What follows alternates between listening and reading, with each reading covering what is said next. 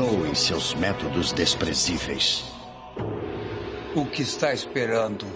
Haja logo. Boa ideia.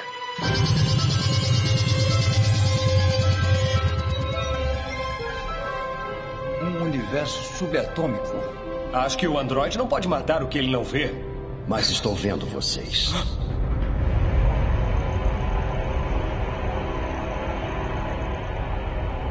Acharam mesmo que eu não os seguiria até aqui?